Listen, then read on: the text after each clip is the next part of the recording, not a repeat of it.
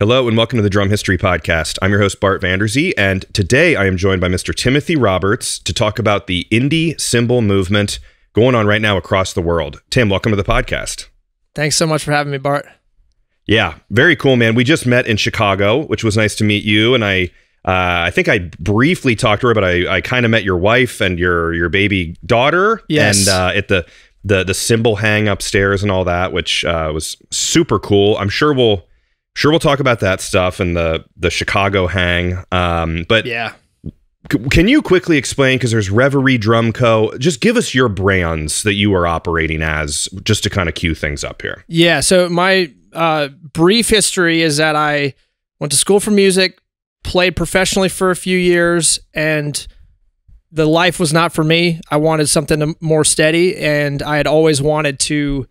Uh, I'd always wanted to build a snare drum, and so I had a little dip in my work, a few months where I wasn't traveling, wasn't doing any touring, and I decided to just order some parts and make a snare drum and see what happened. And I cannot remember a transition from doing that or saying I was going to try it to okay, this is what I'm doing now for the foreseeable future. And so I started building custom drums in 2015. That morphed into making ex- percussion accessory products made out of recycled cymbals, Cool. which dove me into the world of bronze.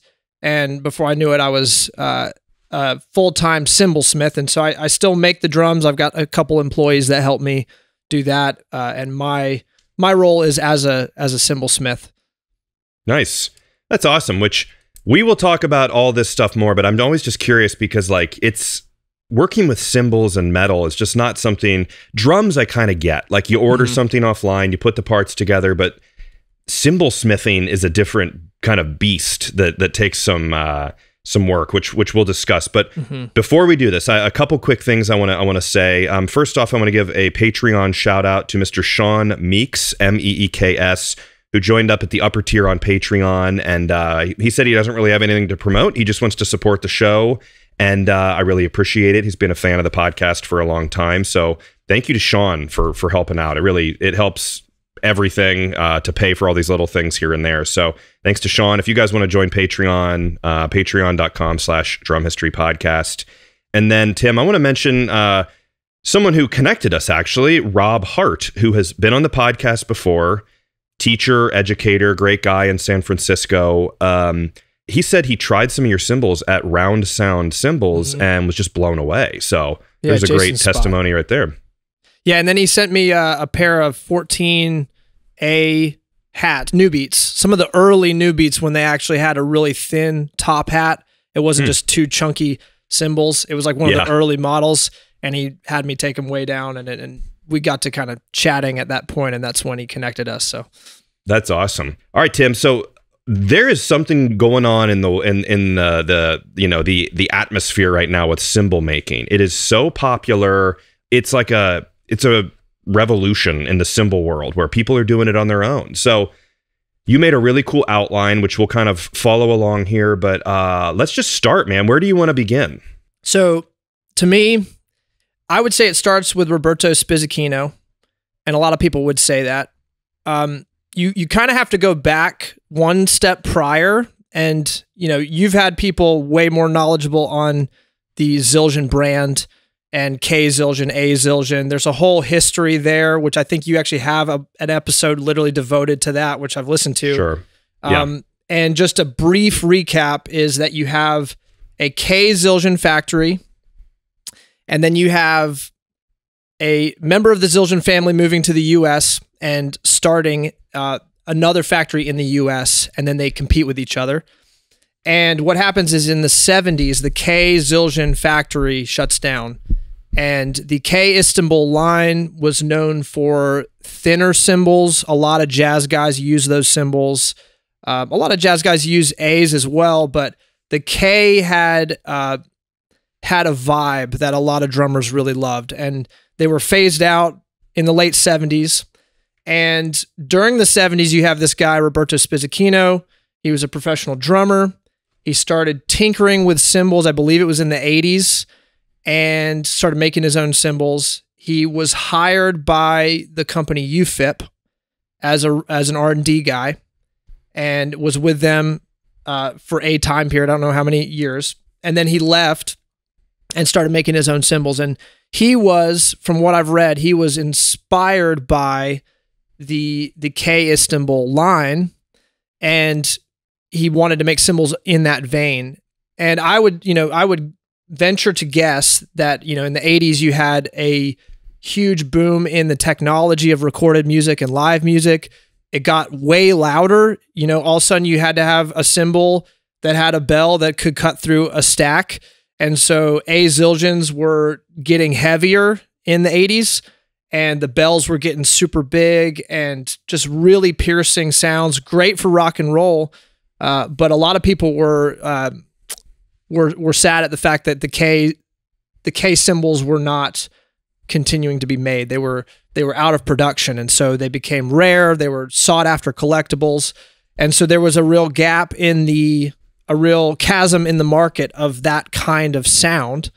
Um, you can make an argument that Zildjian was making cymbals for that, but it was uh, it was a much smaller piece of their pie and what yeah. they were really producing in the 80s. I, I, modify a lot of cymbals and I see a ton of Zildjians from the 80s and the 90s come in.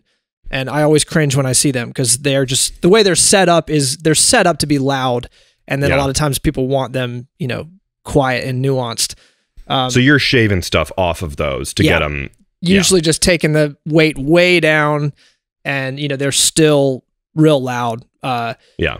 But you know, no, obviously no hate on those companies. It's it's just sounds. To me, it's just sounds. You know, it's I I definitely have my preferences.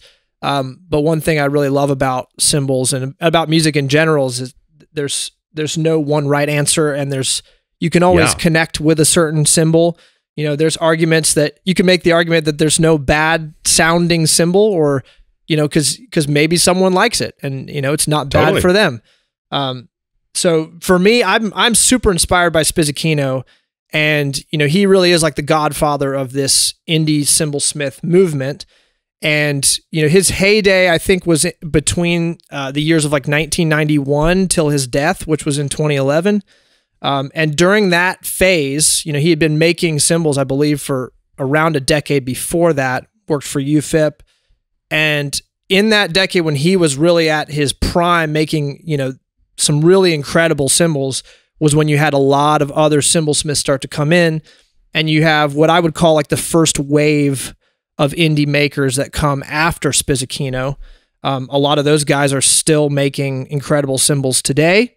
I've got my mm. little lists here. I could read off a few names, but uh, sure. we got Mike Skiba, Craig Lauritsen, uh, Steve Hubback, Matt Nolan, who we both you know hung out with yep. in Chicago. Yep. Um, we got Matt Bettis, Michael Paiste. Uh, there's really uh, there's probably a couple other names in that list, but those were the guys that that that kind of took inspiration from Spizz and started doing it. And and you know, so it starts with one, it goes to you know ten, and then there's a second wave, which is kind of the 2010s to now, and that number of 10 independent cymbal smiths has moved now to probably 20 or 30 there's a whole nother batch of guys that are currently just working on their technique and getting their stuff together. So in the coming years that, you know, it's going to be an exponential growth kind of thing in this yeah. cymbal smithing movement and I'm super happy I get to be a part of it, you know. Totally. And and just to kind of uh, uh so this there there is an incredible short four and a half minute documentary mm-hmm. that uh, Alex Healey created about Spizzichino um, that that I'll put in the description for people to watch. But um, Roberto Spizzichino, he he even said in it, there's there's nothing wrong with the big brands. He said they're just they're all beautiful, and he mm-hmm. likes the ugly sounds. Yeah, where I think ugly is kind of a subjective term, where it's not maybe the the crystal clean. You know, perfect sound of like a Zildjian, a Paiste, a Meinl, where you come to expect that. Right he's he he and and and you have some cool actually videos of you modifying a Spizzichino uh, yeah. cymbal on your YouTube channel, which I'm sure people are like, dude, what are you doing? Yeah, but I definitely you, have a couple people that are like not happy that I did that, but overall, I think it's kind of an interesting. It's interesting cool, thing. and yeah, and I mean, it's it it just gives it new life, and maybe if that that sound, if it's a little too far out of the the, the norm of what people expect, why not modify it a little bit? Mm-hmm. But um, so he said those big brands are really, you know, there's nothing wrong with them, obviously. But another interesting thought too is that like there's a lot of brands who maybe were like there's like the uh the Bosphorus and the Istanbul Mehmets. There's the brands that kind of like started off smaller and then got a little bigger, and then you kind of get out of the indie cymbal Yep. phase and then you get bigger Right.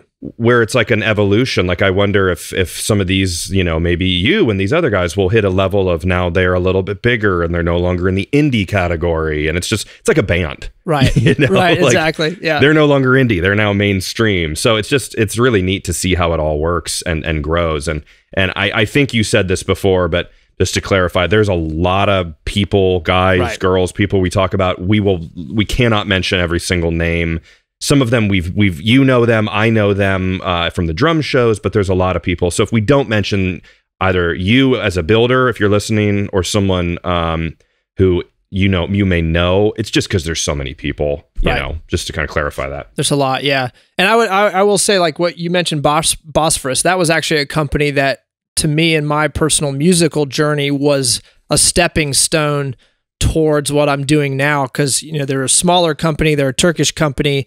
They're making cymbals a little bit more in the vein of that old K kind of thinner, jazzier kind of sound. Um, I started out, I was all Sabian. You know, my favorite drummer played Sabian. Um, and then, you know, I, I, I listened to Rush all the time and I would just play along to Neil Peart and just, I had my drums set up like him. And, yep you know, I, that happened. And then college was what introduced me into jazz. And then at the same time, I kind of, I discovered Bosphorus. I, dis- I discovered, um, AGOP, some of these other smaller Sure. companies that were, that actually, I would say, you know, took inspiration from, in a lot of ways, the movement that Spizzichino started and also the jazz drummers that were just demanding this kind of sound. They they wanted to go back to this, harken back to this, you know, older time when you know you could get a 22 inch ride that was 2400 grams. It wasn't 3500 grams with a huge profile and a massive bell.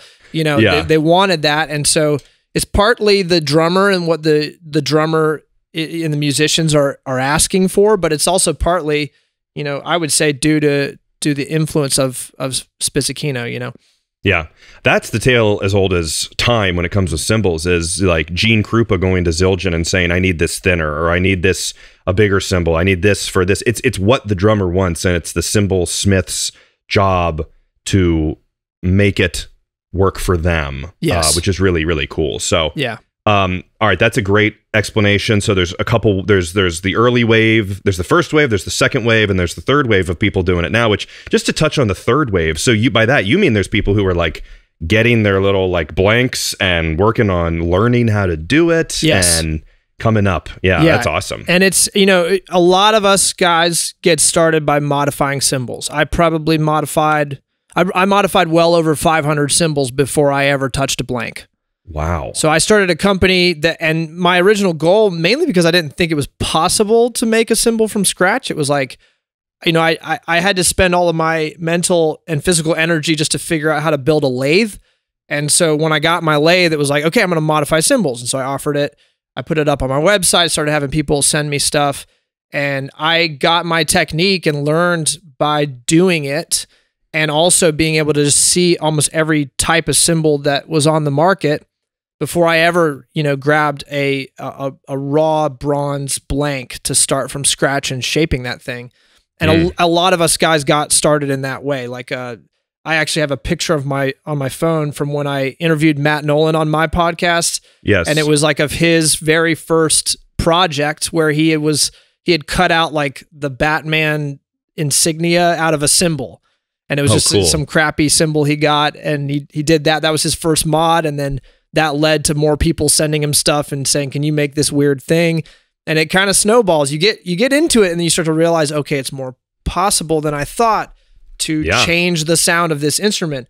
And then you start asking the questions of what if I have a lathe? What would it take to get a lathe? What would it take to, you know, build an anvil and start making my own hammers and and then before you know it, you're there. Like it really does Yeah. kind of capture you if you if you have the mind for it. This week's episode is brought to you by GM Designs Custom Cymbals. GM Designs is not your typical cymbal company.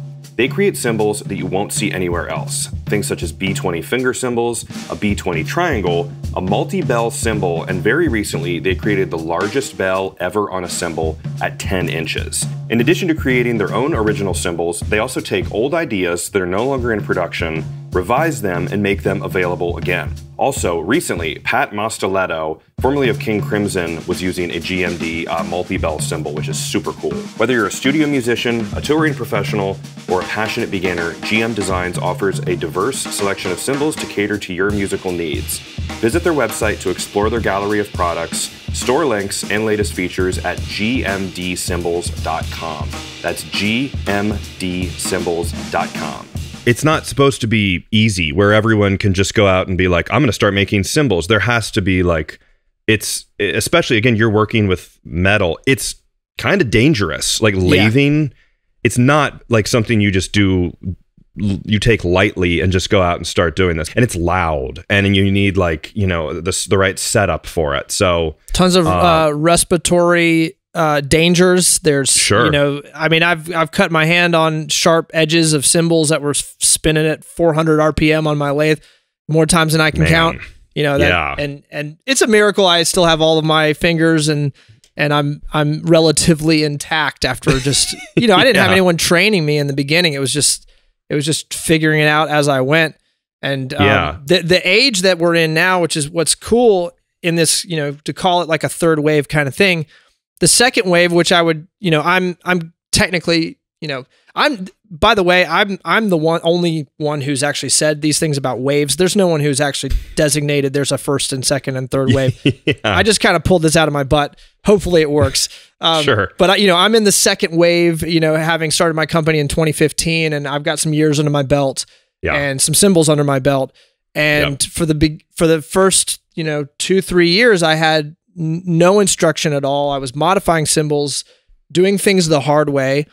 And then, you know, you hit like 2019, 2020, and you start to have a trickle of some of the makers saying, well, maybe we should teach this art form. So I have to give a huge shout out to Dave Collingwood, who's a really good buddy of mine, um, who has a Patreon where you can literally go to him with zero training, zero know how about how to do it, and he'll teach you from square one Wow. What do you need to do? What do you need to look out for? What what do you need to order to make your lathe? You know, and and it, he actually helped me in a lot of ways just kind of clear away some of the pitfalls and get me to the point where I was just working more efficiently. So a lot of the guys in this third wave, the reason we're seeing a big boom is because there are people out there training other yeah. people and, and kind of opening up things a little bit where it has been a really closed community uh, mainly because of, like you said, how hard it is. It's it's incredibly difficult to get into this thing. It's incredibly dangerous, and if you don't have someone teaching you, it can be very daunting to try to step into it. Yeah. Um, and you know, I think partly because there's a desire in the market for these kinds of cymbals, there's actually room for all of the people that are that are offering their their cymbals now. I can make a living as a full time independent cymbal smith uh, in today's day and age, which is crazy. Like that yeah. wasn't the case before social media hit. And I can get on this little crazy black box and just post, "Hey, I made a cymbal," and then sell it and feed my family. You know that that wasn't the case. So um, seriously, that's yeah. you know obviously I, I, we could sit here and talk about all the dangers of social media all all we want, but that's like yeah. a real plus to it. And so uh, that's another it, reason totally. why we have such a growth in this uh, this movement. Yes, absolutely. And YouTube, which I think I said it before, but you mentioned your podcast, um, which you can, I'm, I'm assuming you can listen everywhere, but there's mm-hmm. also, uh, it's on your YouTube channel, Reverie, R E V E R I E drums. You've got Ray Byrne. You've got a lot of people who have been on this the show and are friends of sh- the show. Ray was the first person ever sponsor the podcast, and he really? sent me some cymbals oh. in exchange for some ads. So uh, Nicky Moon, Paul Francis, you've got some some great stuff on there. So everyone check that out. But um, You've, I'm looking at your outline. As for the cymbals themselves, you say understanding the cymbal construction is very important for a smith, obviously, but the musicians slash drummers who are looking to find their sound should know that as well. So explain that a little bit. Like the construction of it. I'm always interested on how the hammering affects things and the lathing affects things and how that, you know, the weight, what that translates to me as the consumer, uh, how that all works. Yeah, and it's it's confusing because it's it's very confusing and it's and, and it's very hard to like concisely put it all in one little box yeah. so that you understand it all and and I think like a lot of us I got into cymbal smithing because I was dissatisfied with what I could find in the market. I didn't feel like the sound I had in my head was being offered anywhere. And then also a healthy dose of being an insane person. You know, you have that combination, and then you start pursuing. Okay, well, what if, what if I just try to make this myself? Um, and as I through the years of modifying cymbals and then starting to make them, I really started to have it was like a very slow process that happened over the course of years of this very basic level of understanding of okay, I see what's happening. I see how you can utilize different specs, uh, different ways of constructing a cymbal to get the kind of sound you want. Yeah. And oftentimes when people send me mods, you know, there's a big element of of training people what to look for. If you have a cymbal and you think there might be a treasure inside that cymbal that you kind of think is meh, uh, what do you look for to be able to give you the best possible answer as to whether or not you can get that out of the cymbal, get something that's really beautiful out of that cymbal that you will really love and connect with. So, sure. Um, I'm going to talk about a phrase that I will rip straight from Dave Collingwood. So, all credit goes to Dave here he has a thing that he says that shape is sound. So this mm. to hmm. me kind of encompasses everything and I'm going to take what he says. He kind of just leaves it there. He talks about it in his in his Patreon stuff, but I've taken that and sort of run with it in a way to help me cuz I'm a really simple person. I'm not a I'm not I don't consider myself super smart. Uh, I'm a simple guy. I need things to be boiled down into their utmost basic level for me to understand. I feel the same way about and me. I and I think a lot of people are like that, and and it's yeah. it's it's great. And I mean, even just to take a little, uh, you know, as a side note, I've noticed in the in the last couple of years, all of my favorite drummers that are on an unbelievable level of technical prowess and mastery. If you listen to them talk about what they practice, almost always they're like, I practice the basics. Yeah. I practice my single stroke rolls and you're like, okay, when I listen to you play in your band, you know, I'm hearing the most insane music and and and unbelievable chops, uh, musicality, interaction with the other. Like you're saying, you work on your single strokes, and they're like, yes, I work on my single strokes. And so fundamentals, the fundamentals. So in with cymbals you know, and cymbal smithing in particular, the fundamentals are huge. So back to shape is sound. Shape is sound. Um, if you can have a basic level of understanding of the shape of a cymbal you can be better equipped to know what it is you want to look for to get the sound you have in your head. So I'm going to just read this off because I listed, uh, I think yep. it's like six or seven things. Uh, so I, I have to, there's a little bit of stretching with these things. So just go with me here. And, you know, if you have any questions, if nothing's clear, you know, if yeah. something's not clear, just, just let me know. So obviously, really basic, we have the overall diameter of the cymbal. Is it six inches? Is it 22 inches. Okay, that's a shape, right? Uh, a certain shape. Obviously, sure. the smaller we have, the higher the pitch is, the bigger we have, the lower the pitch is. So, broad strokes, that's what we have. Then we have what's called the profile. And if you look at the side of a cymbal, you know, you're looking at how it curves. You know, you've got the bell, how it's shaped, how it curves, and you've got the body and how it curves. And the varying degrees to which it curves is the profile. And so we can manipulate, as cymbal smiths, we can manipulate the sound uh, in a massive way just by how that thing is shaped. Mm. Um, and same with the bell, which I'll get to in a second. Uh, we have the shape of the thickness. So, so this the shape here is it is it like this? Is it like this? You know, that's going to be obviously the thinner it is, the lower the pitch, the thicker it is, the higher the pitch. And so you start to see when you add just one or two or three elements there's a lot there that you can adjust the different variables and get different sounds. So what if you combined a very big cymbal, you know, relatively it's got a low pitch with uh, so a big cymbal with a thick weight or, or a, a, high degree of thickness, which is a higher pitch. So you've got low pitch, high pitch together, and it kind of balances in a certain way. Hmm, yeah. If you get a very big cymbal and you have it be very thin, you've got low stacked on top of low, and you've got this super growly very, you know, some a cymbal with a very low fundamental, probably incredibly washy, you know, and then you've got the profile. Now the profile, like the the the more it curves, this is all super general, but the more it curves, the higher the pitch. So now we Okay. have okay. So now, say we have a 20 inch cymbal. Okay, 20 inch is very common. Okay, we want a 20 inch cymbal that is going to be very thin because we want it to be light and responsive. But we also don't want it to be muddy. What do we do? We get that 20 inch cymbal and we hammer it into a taller shape. So we're raising the pitch because of the tall shape, but because of the thi- the thickness, the thin weight, we have a lower fundamental there. So we're then Hmm. starting to design our cymbal in a way that we can have a really light, responsive cymbal, but it has a high enough pitch to the stick articulation that it can have some clarity and it's just it's not just muddy. I was going to say, so the opposite of mud would be clarity and Yes. just each hit. So if, so mud though would just be each hit is not very well defined. It's just kind of, Yeah, and the cymbal is activating and all the overtones are activating to a point where they just overtake the clarity you have on your Got stick it. We're talking Got it. about a ride too. Obviously Yeah, yeah, crashes yeah, are a different thing. Yeah. Um and so, you know, to take the reverse point before I keep moving on, the Yeah. reverse point is like, okay, we want to have a very low fundamental and a flat shape, right? We don't want this super umbrella shaped cymbal. We want a flatter shape. So maybe we need more weight with a flatter shape. So that flatter shape is going to give us a lower fundamental, but the the uh, the heavier weight on the cymbal is going to give us enough clarity because there's just, there's going to be enough material there so that when you hit the stick, you're going to hear the stick, and Yeah. then there's, there'll, Yeah. there'll be this really low growly wash underneath it.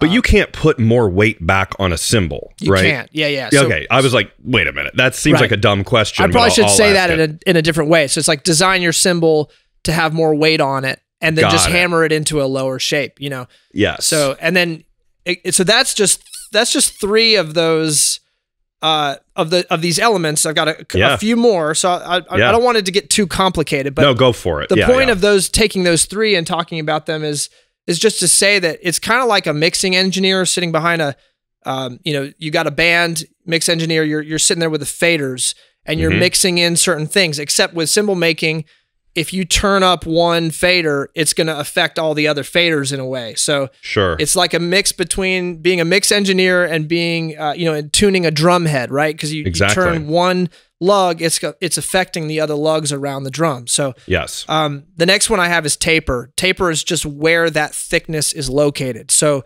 typically you will taper your cymbal out towards the edge. So it gets thinner as it gets out towards the edge. Now, what you can do there is if you want a cymbal, you know, we'll put aside the other factors. Say you want a cymbal that has a really nice, softer feel and it opens up quickly with a crash, but it has a lot of stick definition. You can just taper the outer two or three inches real thin and then leave more weight up higher on the cymbal. So then, you know, that weight is going to give you the stick clarity you want, but but because it's thinning to the edge, you can crash on it and it will respond really quick. Cool. So yeah. that's taper. Um, I like to say I don't I haven't heard any other cymbal smiths say this, but I like to talk about topography. So just kind of like the the peaks and the troughs Sure. and the all that Like a kind map. of like a map, you know. So you got cymbals that are smooth. Think of like a um, an A custom projection crash, right? If you were to zoom in to that, it's going to be relative relatively it's going to have minimal topography. It's going to be pretty flat. The lathing is going to be pretty shallow and pretty close together. And what that allows for is for the sound to propagate up and down the cymbal quickly and easily. Okay, so the sound is traveling, and when there's more hammering, it it's it's going up and down and through the hammer, the the hammer hits and everything. But right. a custom smooth, you don't really see much hammering. It's just whew, It going feels right it's it. flat, and so those it's like, it. you know it's it's just able to shoot off the edge like water. Whereas if you have you know I'm trying to think of, I mean if you look at like um the uh the AGOP line of like the dark dry where they just have these massive machine hammering divots. Mhm. you know you've created this really crazy topography in one sense you're you're sort of drying up what I call the spread or the sustain of the of the sound. You're giving Got it a drier sound. It- The, the, the, that sound, the sound waves can't propagate up and down as easily, so it's going to translate into a bit of a drier sound. With with a cymbal like a Spizzichino ride, like I had a ride in you, you mentioned like the Spizzichino ride that I modified. You know, it has this balance of topography, smoothness, and topography also relates to the lathing. How deep does the lathe groove go? How wide is it? You know, if you go with a wider separation between those grooves and you go deeper, that's also creating that topography. So, so with that that Spizzichino ride, because it was a little bit more in, it was a little bit more balanced. It wasn't quite as extreme as that dark dry series from Agop. I believe it's from Agop, but dark dry series, and it's not as smooth as the A custom. You know, it's kind of in the middle somewhere. What this can do to the sound is it can give you what I like to call like stretching apart the frequencies so that you have you're just creating separation. The lows are really low, the mids are in a place and the highs are really high. So there's Hmm. separation. It's it's not unlike when you look at a video that's 4K or you know next to a video that's 360p or Yeah. a video that's just kind of grainy, right? It feels the grainy video feels kind of flat, it feels kind of squished, but then Yep. you look at the 4K video and you just see the depth. All of the depth is there Yeah. and it draws you in more. So cymbals are like that.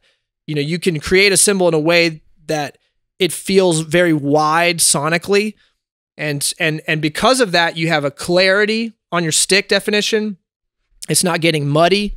It sits out on top, but you also have more stuff going on underneath. It's kind of that Yeah. ugly thing that Spizzichino talked about in that documentary. He likes and and I would I would rephrase it and call it vibe. It's it's the Yeah. vibe that makes you want to play that cymbal.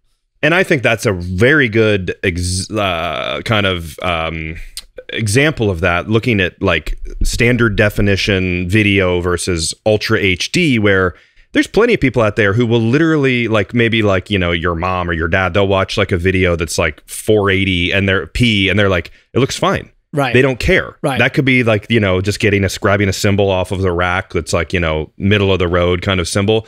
But then there's people who are passionate about you know 8K video or something. Yeah, right. There's something for everyone. Just and there's, it's not wrong one way or the other, but uh, that's a good way to look at it. Yeah, and it's also to your point, it's also the function and what you what what do you need it for? So, you know, if you took one of my jazzier cymbals and put it with a rock band, it's not going to work, you know? Sure. There there's a, a real point to be said that maybe an A custom ping ride is better for your rock gig than one of my cymbals that I've agonized over for hours.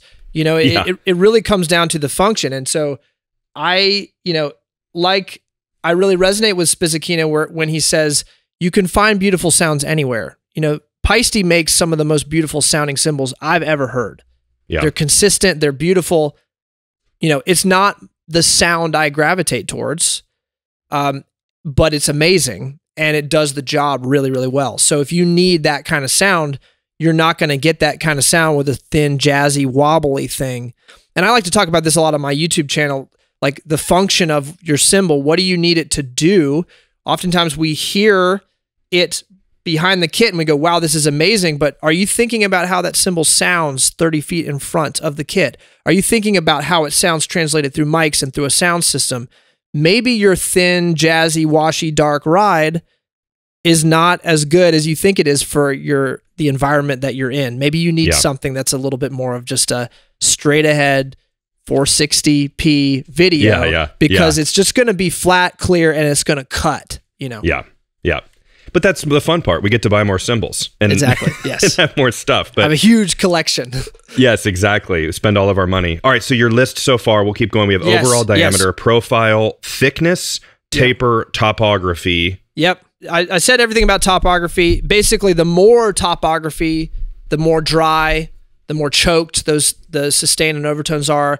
The less topography, the more smooth and and the more um, the more resonant, and the longer the sustain.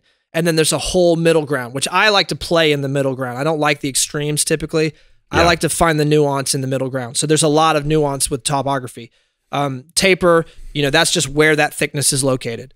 Um, the next is the the bell or the cup. Some people say, and that's you know the shape of the bell. Is it you know tall and kind of almost triangular and conical shaped, or is it wider and lower? Um, that's going to dictate a, a, to a very large degree the sound of your cymbal. Um, the way I like to explain this simply is just take a flat ride, no bell, right? Mhm. What do you get with a flat ride? You get stick definition. Do you have a crash? No, you don't really have a crash with a, you don't have a, a sustaining crash that's very loud with a flat ride. Um, I try to make flat rides that do crash, but but it's different. It's just a different thing. Yeah. You add in a bell. Say it's a really small mini cup bell. All of a sudden you have stick definition, but all of a sudden there's more sustain, and the the crash is a little bit more. It's louder and a little bit more present. And then you start to have you know say say with a flat ride you got stick definition and then crash is way down here. With a mini bell maybe it's more like this. Okay, and Hmm. then with you get a, a normal size standard pressed bell, normal height, normal width. All of a sudden, that sustain and volume of the crash is up here. It's a little bit higher. So, so basically, the bell is giving you, you know, to overgeneralize, it's giving you the volume and the sustain to the crash of the cymbal like in the simplest terms without go- doing like i mean i'm sure you could do a college class on it why why is the bell affecting the way the sound is working like spreading like that so much I would. So, I mean, t- to me, I think I I I don't really know to be honest. good Um, answer but to me it's it's the the I like to think about like the Liberty Bell. You, you know how the Liberty Bell is just this massive like chime thing, crazy. yeah And you think about what like if you think about the Liberty Bell, what does it sound like to you? It just, just a sounds thick dong Yes, like yes. lots of sustain lots of Yeah. sustain. And so imagine you have like a a piece of bronze and you've put the Liberty Bell on it. And you're you're adding in that kind of character to this to the cymbal. And that's the extreme. So what if you you take it a little bit lower and a little less crazy shaped? Then you're getting less of that dong kind of sound in it. Maybe that's a, there's a better way of saying that. Uh, but you get a little less of that, and it's like kind of putting that into the sustain, and maybe it's the the separation and the way that um, the the curvature. Uh, a lot, oftentimes, cymbal smiths will talk about the having an integrated bell or a separated bell. So that oftentimes has to do with these hard angles and hard curvatures up.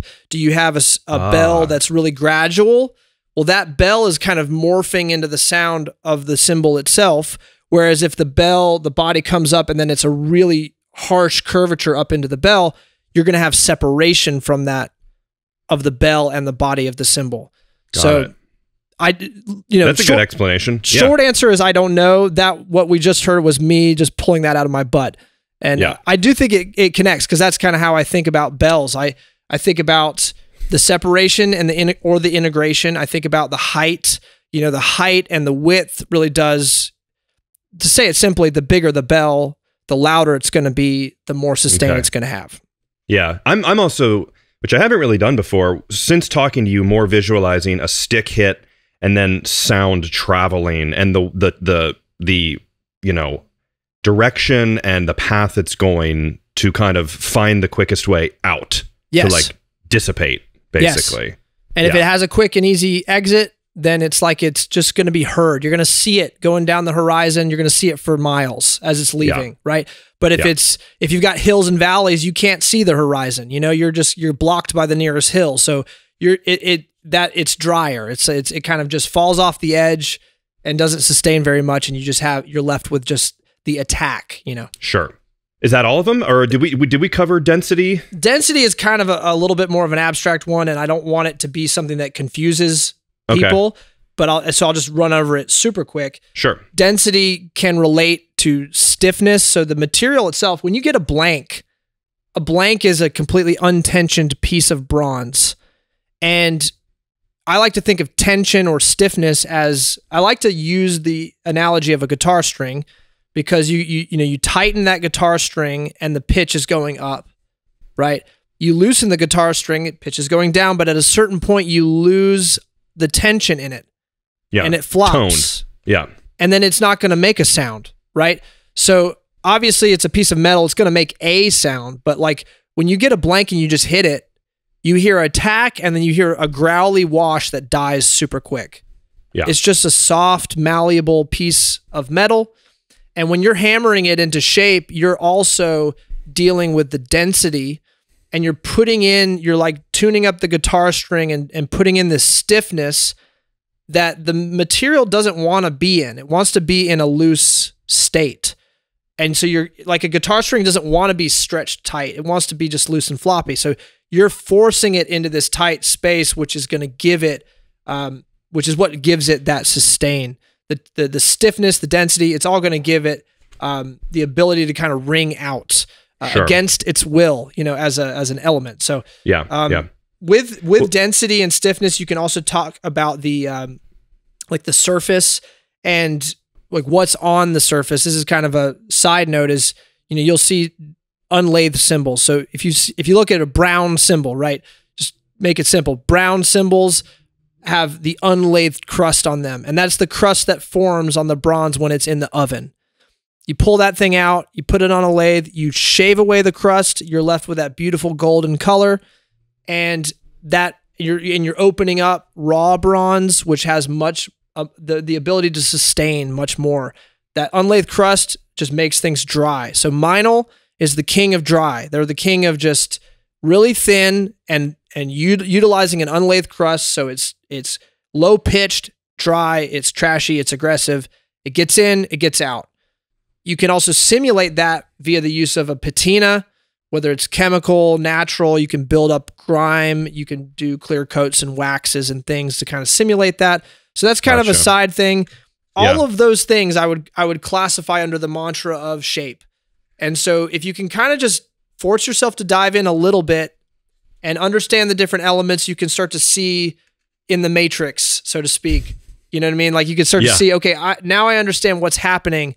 Why does this cymbal sound the way that it does? And why does the cymbal I bought that, you know, sounded one way on the recording, why isn't it doing what I wanted it to do when I have it in my drum room? You know, Yeah. there's a whole conversation Yeah. to be had there, but Yeah, that makes sense. Um, all right, so two questions come to mind. First off, just kind of one that's like like it just popped into my head of like I remember being somewhere and I've seen these before where there is a certain kind of cymbal that I've never played as you're talking about density where it is so wobbly Mm. and it's so just like it, it, it there's something to it and I'm you know probably what I'm talking about. What is the deal with that type of cymbal? Yeah. So uh, again, overgeneralizing, and I'd say I say overgeneralizing a lot because I want to go back to that point of every every shape in a cymbal, Yeah. every every element affects every other element. So you you have to say one thing, and you have to have a million caveats with it. Yeah, yeah, yeah, yeah. So yeah. put all that to the side. I can take a cymbal, I can put it on my lathe, and I could I could flip it upside down and put it on my lathe. So I'm I'm facing the the underside of the cymbal on my the lathe. bottom. Yep. Yep. I can then take a a blunt metal rounded off rod and I can use pressure. I can press into the bottom of that cymbal and I can just relax the whole thing. I'm not cutting away material. Ah. All I'm doing is using pressure. So I pull that cymbal off, I hit it, all of a sudden it's a jellyfish. That's exactly right. I was thinking I didn't explain that right. It is like visibly there's something going on with this cymbal that makes it jellyfish is a great. It's just it looks like a like a Amorphous blob. exactly. Yeah. It's just so wobbly. So that's not lathing. That is just relaxing the metal. It is it is lathing because you know if you sure, okay. you can cut away material on the bottom and use pressure and kind of re- re- relax the metal, um, but you can do it without removing any metal without hammering. So this kind of gets into the point of you know when I'm hammering a cymbal, if I hammer the bottom, I'm kind of I'm kind of I'm doing this with the bottom, right? I'm kind of like let it's slumping a little bit. I'm kind of de- Mhm. detensioning it, de-stiffening it, and it's Yeah. kind of slumping. You have to do bottom hammering to get your structure there, but I like to think of it like a tent. So a tent has these like, you know, stilt things in it, Yep. and then there's fabric stretched across it. You know, if, if there weren't the stilts on the underside of the cymbal, the fabric would just be laying on the ground totally floppy. So you Yeah. need structure on the underside of your cymbal. But if you want to stiffen a cymbal, it's all on the top. So you work the top to stiffen the cymbal. So Got it. so it's it's you know making a cymbal is this is this back and forth top bottom. You're just rocking it into the shape that you want it to have, and then you just keep going. If you want it more umbrella shaped you just keep going. So and then you can get it to a certain shape. You can let it rest let the molecules kind of realign. And then you could go in and like i said use a blunt tool hit the underside you know just like pressure on the underside. And then all of a sudden you can slump it and i use that actually as an effective tool if i get a cymbal in that just has a crazy hum that's ugly Hmm. sometimes maybe you just need to de-tension the thing on the underside which will take that hum and it just drops the pitch of the hum way lower and so then you Gotcha. can kind of blend it into the overall sound i don't typically like super floppy jellyfish like cymbals. there's a balance to be had It- for sure It seemed like a I don't want to say a gimmick, but it was like Yeah. a look at this, look at how crazy this thing is. And Totally. I'm f- like t- 15 years later, I'm talking about it now because I was like, Yeah. that thing was crazy looking. right So, and Hammerax totally is the are, you- are you talking about Hammerax It was a dude at a jazz club, and I was watching it, and he pulled it out, and it was like 26 inches, and I was like, "What Woo! is Yeah. going on?" But it was huge and floppy, and yeah. All right, so the next question that I had was, what makes you guys different? What makes one person have their own sound, their own style? Uh, it's probably a hard thing to answer, but like, what makes someone that what what's like the difference between everyone? I love that question. Uh, I so what makes your favorite drummer your favorite drummer versus answer, yeah. versus the other drummer? You know, Yeah. it's it's influences, it's life experience, it's the work that the person has done, and you know, with cymbal smithing, just like with music, it's it's the ear. Like I. You know, I, I I find myself I don't feel like I'm the most talented person. I don't feel like I'm the best. I don't feel like I have the most technique or whatever. I feel like I have I just spent a ton of years, a lot of years developing my ear. And so I just let that my ear guide me. And I'm and I'm looking for sounds. I'm kind of like looking for the sound I have. I've listened to a lot of music. I've listened to a lot of Tony Williams and Elvin Jones and and when they play their patterns, the way that cymbal sits in the recording and and how it elevates like, you know, if it's Elvin, how it elevates John Coltrane's solo that ride that he has does something to kind of come underneath the solo and elevate it to a new place. So I've listened to all that kind of stuff. And so when I'm making cymbals I'm just going off of what I hear and what I want to hear. And it's a process of discovery and curiosity. And, you know, you talk to a lot of musicians, especially guys that, that play improvisational music. That's the mentality they, they take into, into playing. And so, you know, there is there is the the more performancy kind of technician sort of musician, and those guys are amazing. And there are cymbal smiths that are like that, that just have the most unbelievable sense of technique and prowess, and they know exactly what they're aiming at, and they know how to nail it every time. And Yeah. then you have on the other side, you have this more maybe artsy is the way to say it, like an, a more artsy approach to like it's totally a discovery, a journey to discover what is possible. Um, Yeah. And you know, for me, it's just my influences. Like my my cymbals sound the way they do because of the years that I put into the craft, but also into just listening to music and knowing what I want to hear. Um, I could sit here and rattle off what I love about all the other guys that are my friends that are part of that second wave we talked about, you know, and and why their cymbals speak to me and why I would want one of their cymbals over even one of mine because they are better at doing their thing and achieving their sound. Hmm. You know, Yeah. That's to cue up perfectly. I just got to say that you guys are very like uh everyone's building everyone up. Like Mhm. especially from just being at the Chicago Drum Show. There's no I'm sure I mean there's competition. We're all trying to, you know, everyone's trying to feed their family, but really it's like a big hang and everyone seems to be supporting everyone and and I mean I've I've known Nicky Moon for years now and and he you guys there's always the same like uh respect for other cymbal smiths that I think is just like I guess it happens with drum builders too, but I, I think like the drum community is special. Subcategory beneath that, the cymbal making category is even more special where you guys have your own little like club of like we've we've all worked our way up. We've almost cut our fingers off. We've Yeah. we've worked our way through this and I think you guys are very supportive of, of each other, which is Yeah. cool. And and you know we we take a lot of inspiration from each other. Like Nicky is Nicky is an inspiration of mine.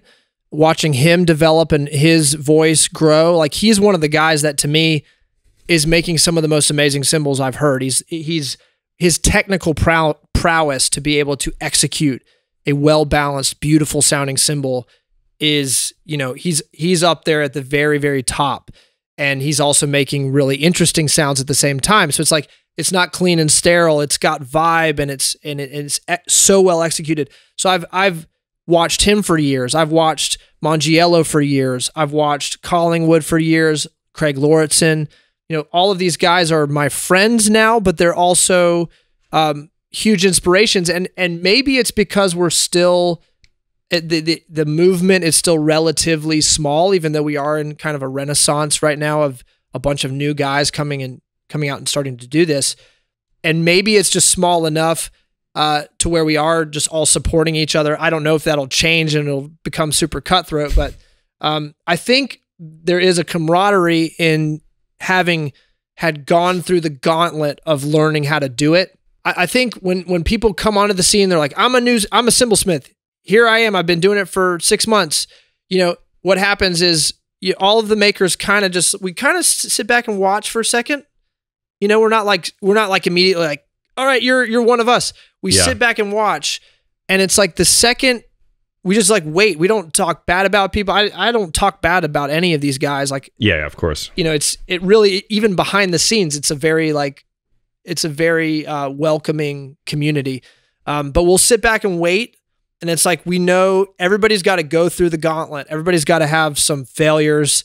Everybody's got to realize that, like at the beginning, every cymbal you make is like the biggest umbrella ever and then learning yeah. how to learning how to execute and make a, a flat cymbal that's lower shaped yeah. is takes years. It, it honestly yeah. takes years.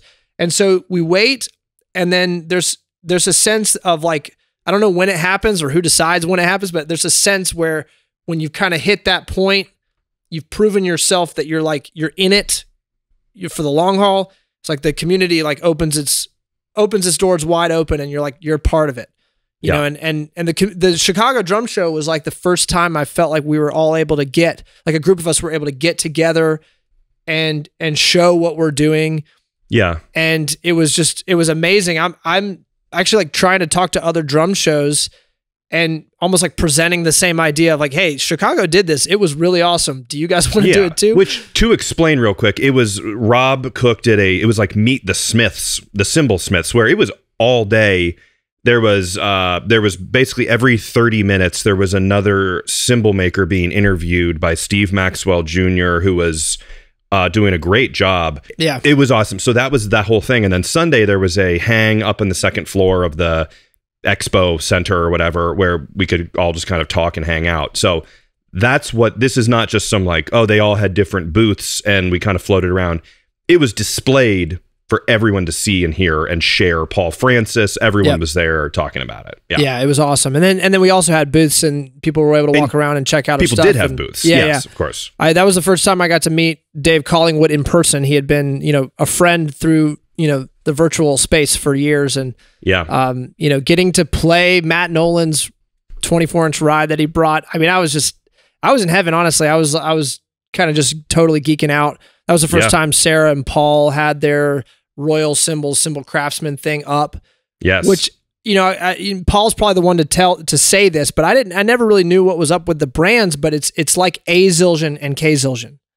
Sure. You know, so it's like it's like their representation, or you know, dark and dirty sounds, clean sounds. Which I was like, okay, the only person in the world that can do that is Paul.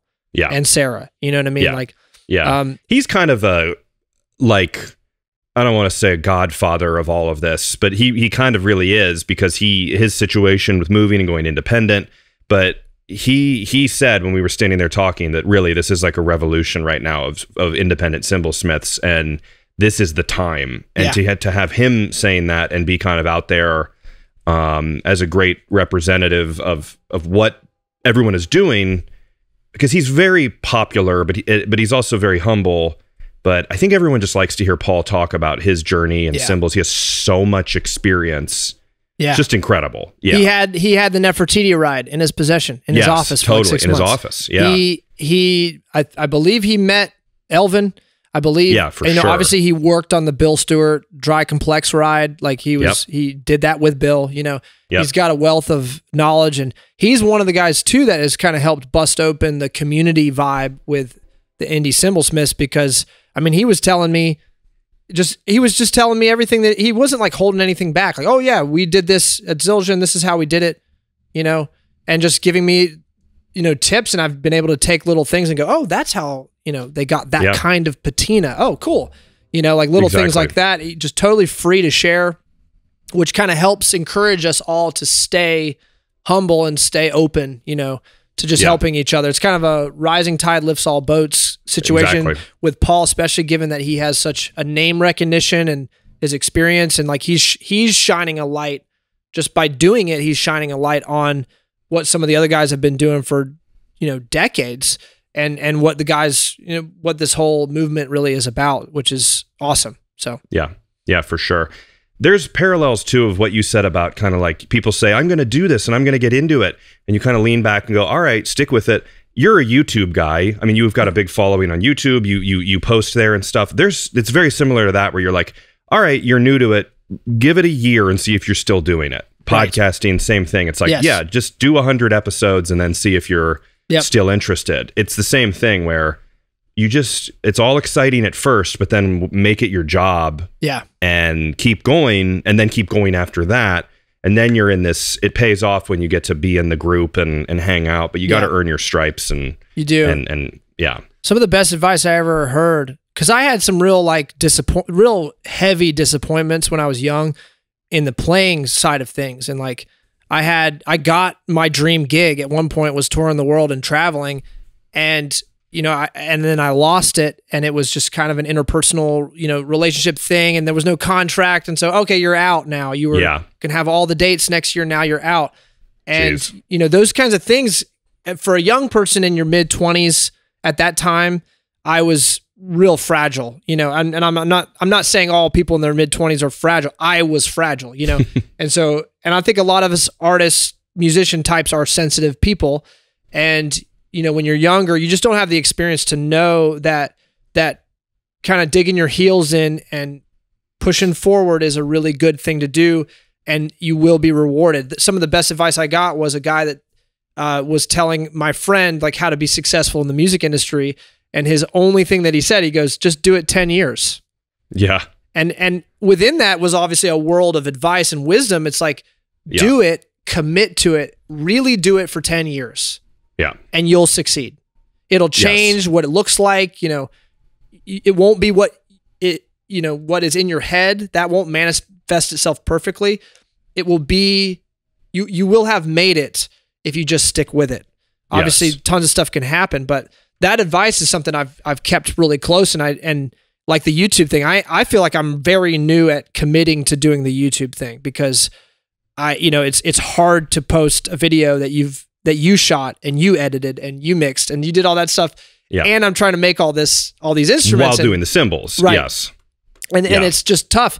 Uh but it's that same thing. It's like okay if you can just commit to one video if it's 5 minutes if it's 10 minutes whatever and you just do it do it 100 times what happens at at episode number 100 maybe it's like oh wow I actually have um, this many people watching. You know, not that it's all about the numbers, but it really at the end of the day is like, can we put food on our on our table, Yes. and are we doing something that we are passionate about and we love? So yes and it Um, compounds everything compounds where you get more viewers then that's buying people are buying more cymbals and then Yes. people are following you more on this and then that's happening because this is happening. It's not just one straight shot. It's Yeah. it's multiple everything just kind of builds off of off of it. Um and yeah, but your reputation is important in, in our community. And i think uh like um we have said before everyone seems to be very supportive of everyone. And it's it's super cool. There's there's just so many cool people. And there's there's like I said, there's too many to name. I mean, I, I got to hang out with like Mike Mongiello and Matt Nolan and all and and um, Nicky Moon and all these guys at the show, and you for a little bit, and you had your baby daughter there, which is Yeah. a different story. Oh, yeah. um, which super cool. You brought your daughter. How, how was that experience having having a baby at the show? that was not a plan. Um, it my my wife and my daughter were gonna stay, and we had some like family news come up, and it was like, okay, you're just gonna come with us and just hang with us, and we'll just see how this goes. Yeah. And we put my baby in the car for a 14 hour drive and she did great. That's awesome. You know, uh, Yeah. a week later, you know, which is kind of nowish, she's just started this this phase of screaming like a banshee at us constantly. So I'm just happy that like that phase in her development started now and not when Yeah. we were in a 14 hour car ride going to Yes. Chicago. well, when you're that Uh. young, I mean, what, 13 or 14 months, like a week is like Yeah. pretty big portion of your life. Right. like, yeah. So, so those changes happen week by week, but uh, It's- you'll it's you'll fast. get through it. It's so fast, man.